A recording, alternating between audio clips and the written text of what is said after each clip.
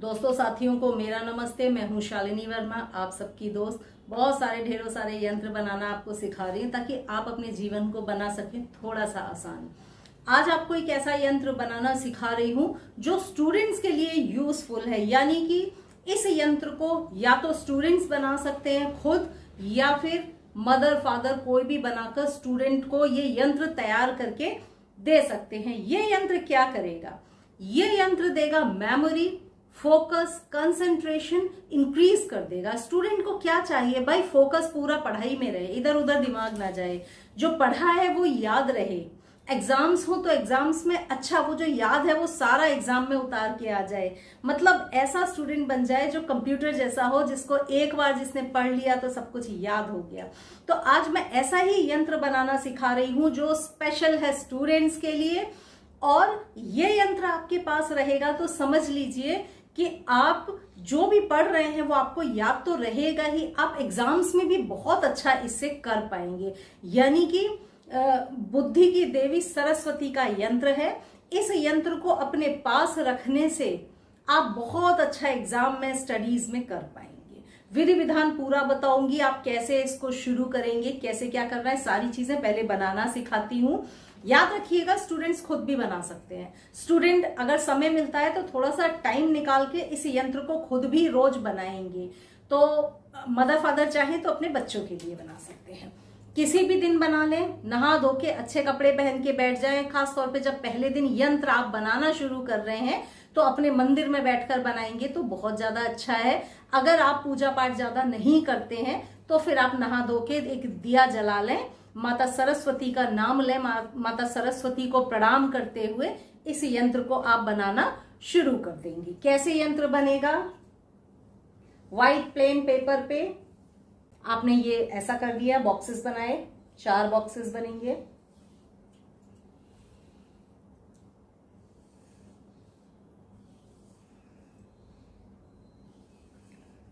ऐसा आपका बॉक्स बन गया। बॉक्स बनने के बाद आप क्या करेंगे? फ़र्स्ट, एट नंबर, आठ number, ninety one number, seven, सात नंबर,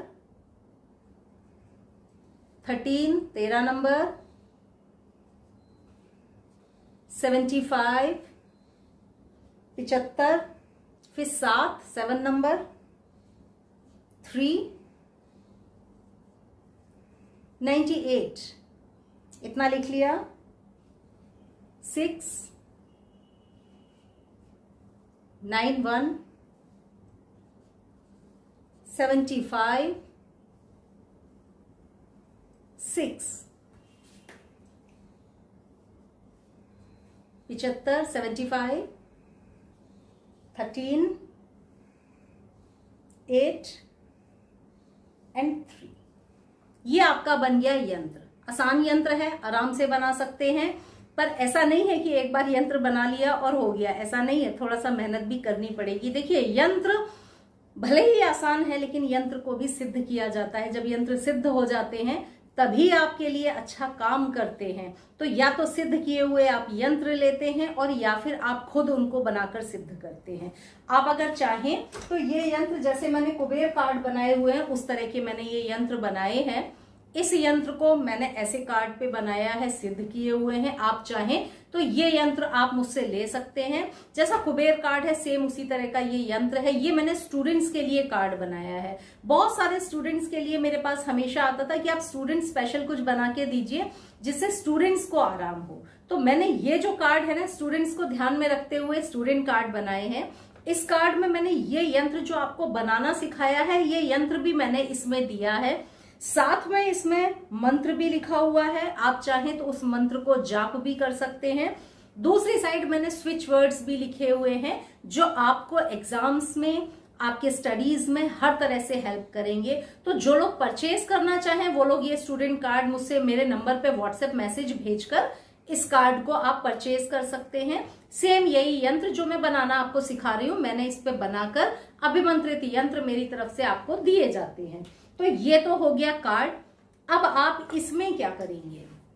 जो लोग चाहें वो व्हाट्सएप करके आगे परस्यू करें स्टूडेंट कार्ड के लिए और जो लोग खुद अपना बनाना चाहें तो मैं हमेशा बनाना भी सिखाती हूँ, ताकि मेरे ऊपर ही आप डिपेंड ना रहें कि आप मेरा कार्ड लेंगे तभी बच्चे कुछ अच्छा कर पाएँगे, ऐसा बिल्कुल नहीं है। आप भी अगर मेहनत करेंगे तो आप बनाकर अपने स्टूडेंट अपने बच्चे के लिए कर सकते हैं हेल्प ठीक है? तो आपने ये यंत्र बना लिया। ये जो यंत्र है, आपको बनाना है फोर थाउज़ेंड एक यंत्र नहीं बनेगा, चार हज़ार की संख्या में यंत्र बनेंगे।